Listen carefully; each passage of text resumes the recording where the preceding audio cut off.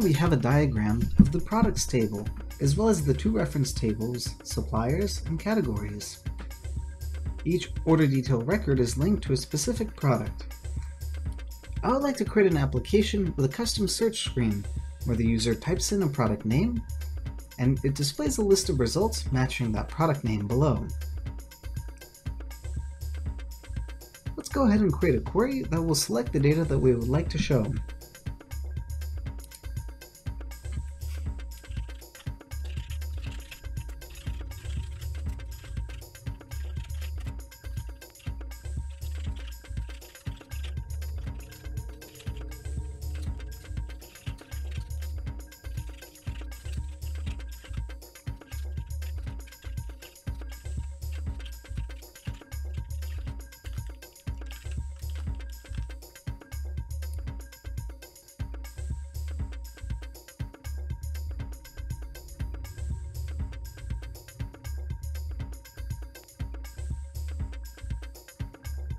We can see the results of our query below. This represents the data that I want to show to the user. Let's create this as a stored procedure that accepts one parameter, called name, and filters these products by the product name.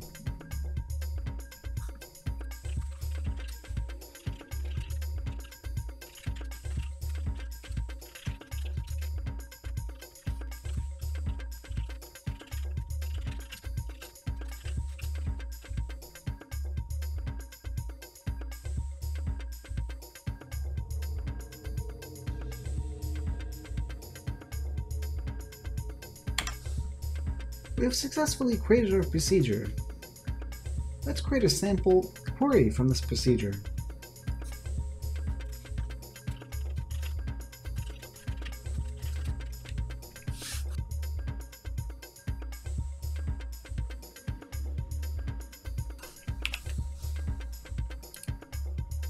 We can see that it is filtering the products correctly.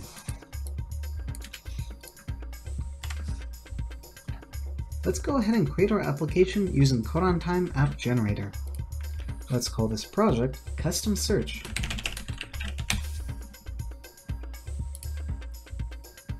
Let's connect to our database.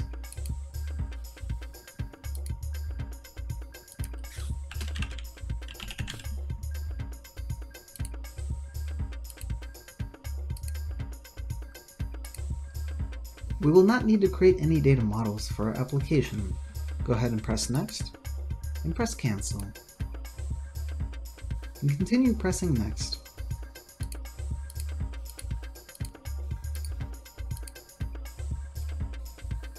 Go ahead and press Generate.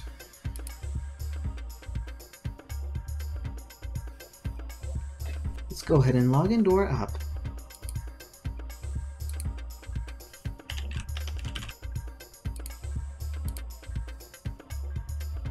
Notice that the only page available is the home page, because we have not added any data models. Let's add a page that will contain a form that will allow the user to type in some search parameters. Click on the project name, press Design, switch to the Controllers tab, and press New Controller. Let's call this controller Product Search. And save the controller. We will add one field to this controller.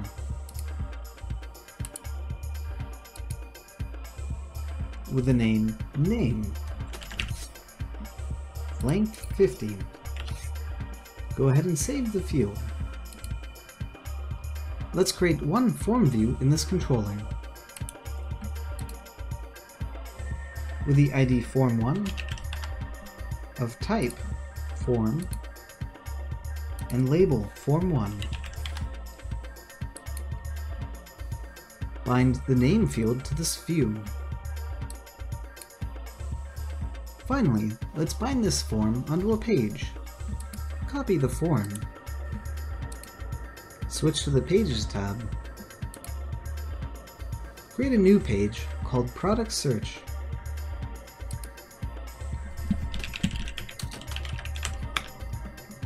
Save the page. Paste the view on the page.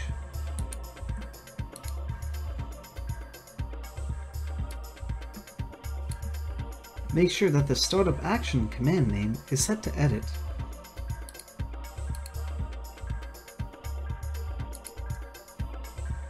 We would also like to see our application running in Code On Time native app. Press exit, press settings, and select client and server. Switch to generic app. Press finish. And let's generate the app.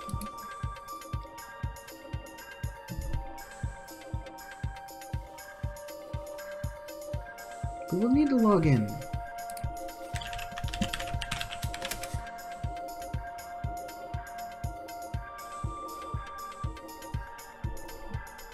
Notice that we have a new product search page.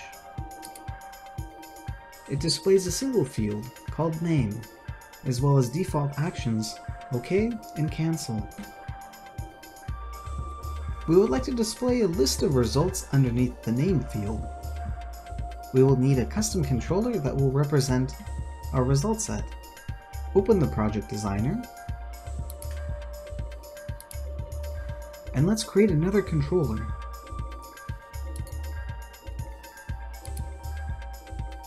We will call this controller product result.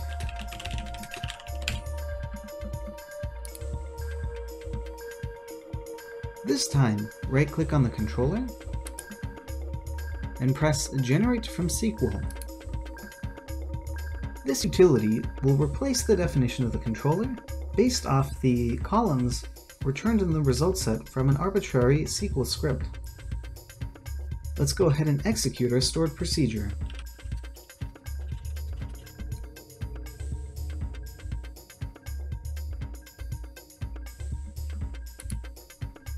The results seem to be correct.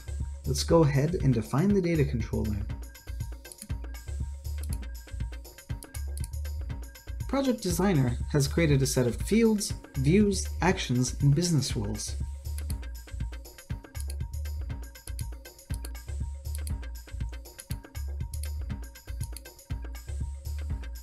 Let's look at each business rule and see how it works. The first business rule will set the Enable Result Set flag to 1. This will notify the application framework that the next select business rule will return a result set that will represent our data. The next business rule represents the data that we're returning.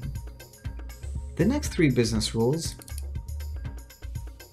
configure the property prevent default equal to 1 to ensure that the user cannot insert, update, or delete by default we will need to provide a custom insert, update, and delete implementation for this custom data controller. Let's modify our getData business rule to accept a parameter.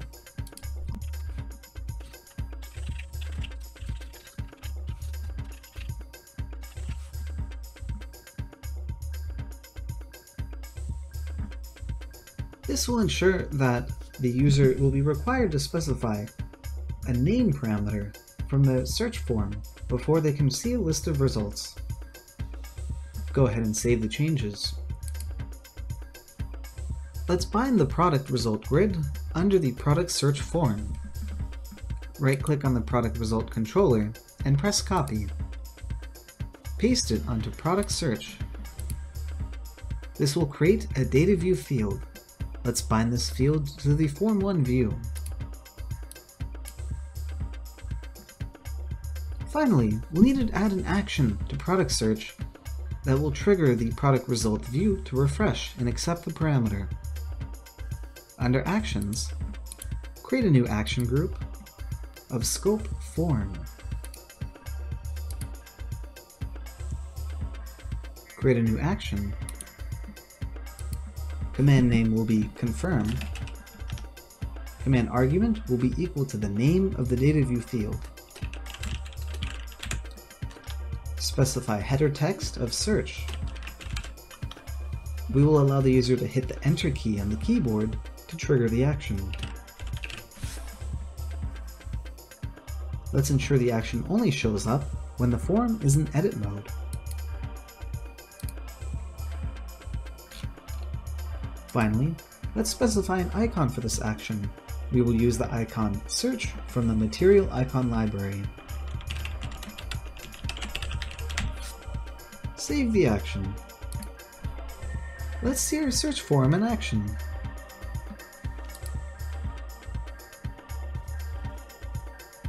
Navigate to the product search page. We can see a data view containing no records underneath the name field. Let's type in something to search by and press enter. You can see the product result has been refreshed with a list of products where the product name starts with S. We can continue searching.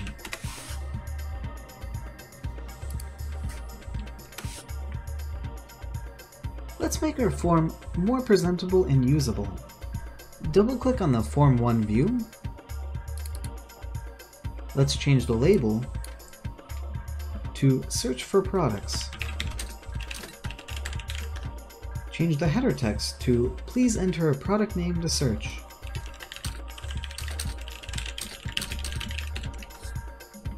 Let's add the shopping cart icon to the form.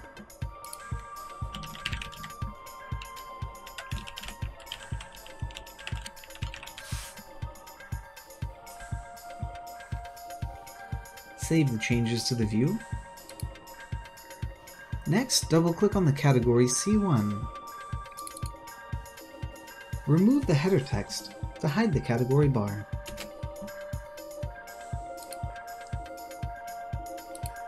Next, double-click on the Product Result Data View field. Let's disable the action bar Finally, we would like the focus to return back to the name field after the user performs the search. We will need to add a business rule that runs after our action. Let's add a new business rule. This JavaScript business rule will run after the command confirm. It will trigger the function $app.input.focus. Save the business rule and run the app.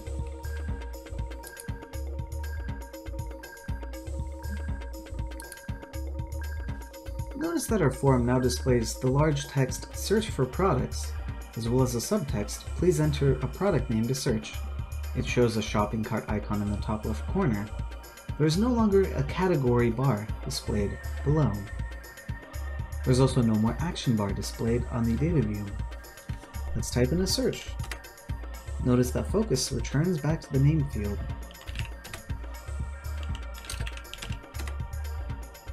We can keep searching for products. Let's select an item from the result grid.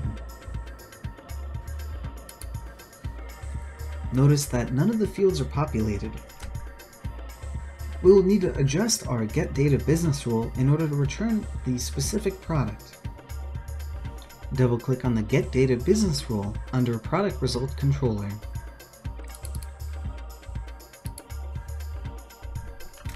We will add another case.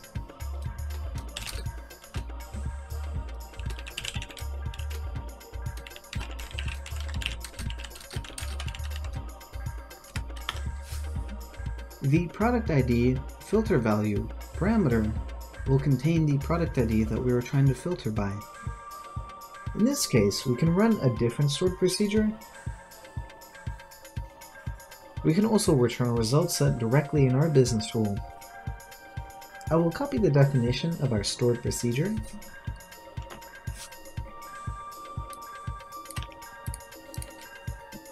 and we will filter this result using the filter value of product ID.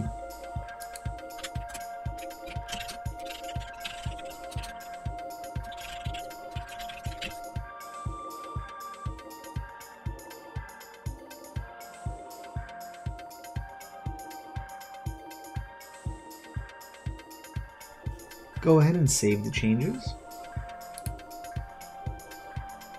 And let's see this in action.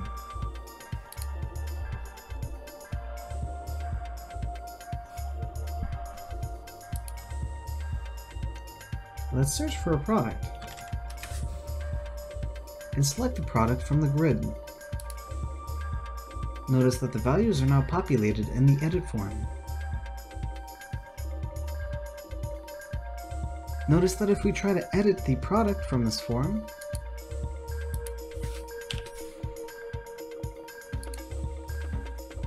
the value will not be applied. We'll need to modify the update business rule in order to write that value to the database. Double click on the update business rule and let's implement our update.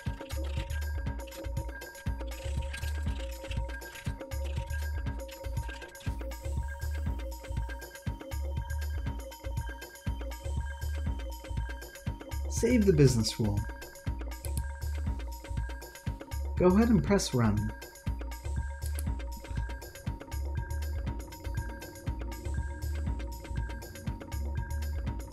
Let's search for a product and modify the product name.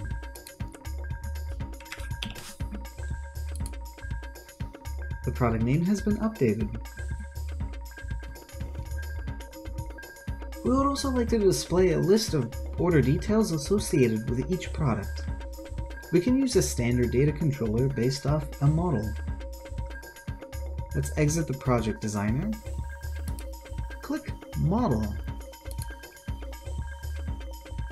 And let's create a model for order details. Save the default model and press Finish. Let's open up the project designer. We would like to bind order details onto the product result form. Switch to the controllers tab. Right click on order details and press copy. Paste the controller on product result. Let's ensure that order details is being filtered by product ID. Finally, bind order details data view field to the edit form.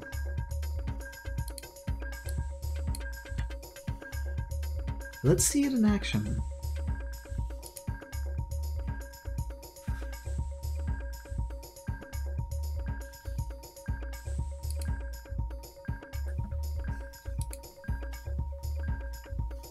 Notice that our product result form now has a list of order details associated with that product.